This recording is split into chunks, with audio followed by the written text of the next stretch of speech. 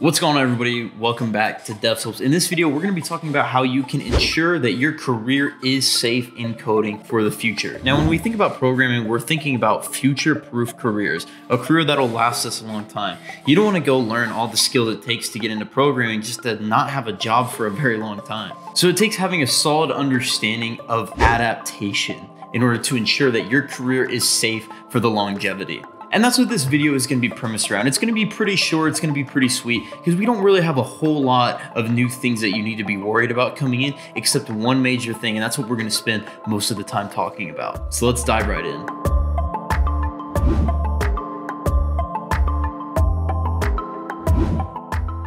So a lot of things in the coding landscape are constantly changing. You have new technologies being introduced, you have new frameworks and platforms, you have new languages that are coming out that look like they can be the successors of other languages and whatnot. And sometimes as a programmer, it can be really overwhelming and really confusing as to what exactly you need to be focusing on. Recently, more than ever, and unless you're living under a rock, you've probably heard of what's been going on in the tech landscape because this is not only affecting programming, it's affecting tech across the board. And that's artificial intelligence artificial intelligence. Now, AI has become something that is just blown up over the past, over the course of I would say one to two years is when it's become really popular and mainstream. Ever since the release of ChatGPT, we've been seeing AI pick up more and more traction, and it's becoming more popular in the tech realm.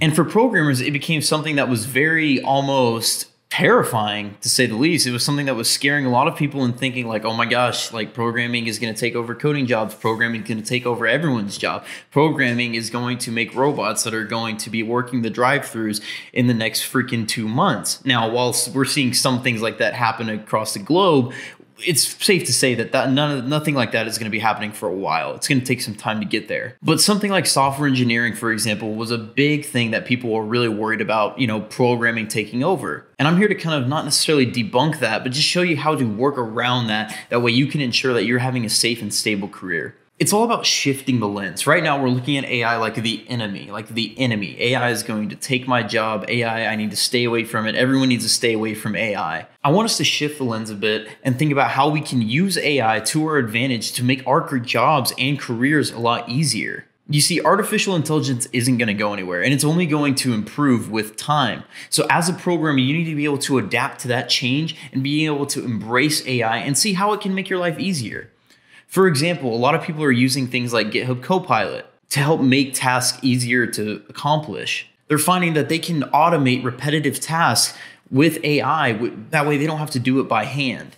And these are things everyone need to be keeping on their mind. Now, when we take a look at things like Devin, that seems to be releasing pretty soon. Devin is like the age old, like, oh my gosh, like this is what's going to replace programmers. And as a programmer looking to survive in the tech landscape, you need to adapt and shift your mentality and say, okay, how can I use Devin to make my job easier? See, AI isn't going to replace developers, but what it will replace is subpar developers who don't have any drive to learn anything when it comes to coding. They stick with just HTML, CSS, and they call it good.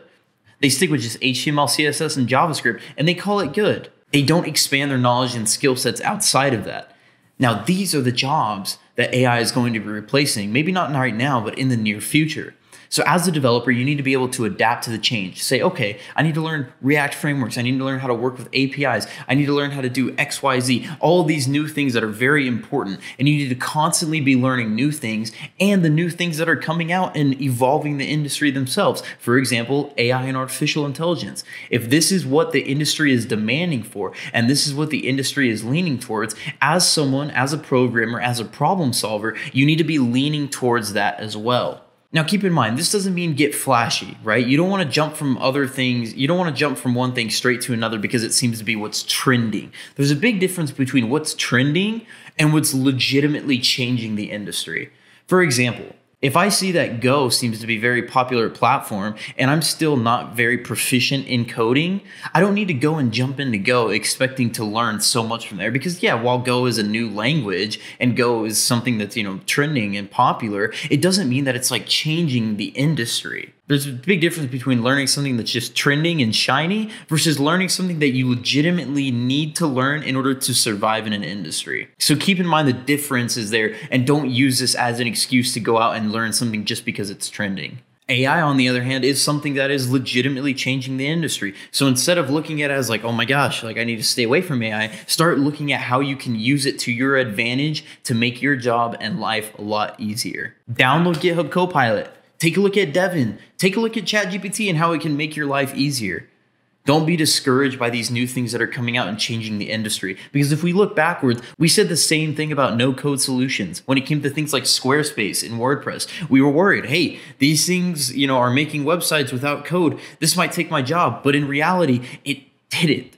It just made people's lives easier. In fact, it made developers' lives easier when it came to like, you know, getting freelance projects or practicing with code or doing like micro code solutions and things along those lines. So look at AI with the same lens. It's not going to replace your job. It's not going to replace you as a programmer. The only way it will is if you are too afraid to adapt to change. And this is an ever evolving industry. So if you're in it to become a programmer, you need to understand that you're in it for change. Thank you guys so much for watching this video. Please hit that subscribe button. I know it was pretty short, but I wanted to get kind of straight to the point there and dive in on this topic. Hope to see you guys in the next video. Thanks.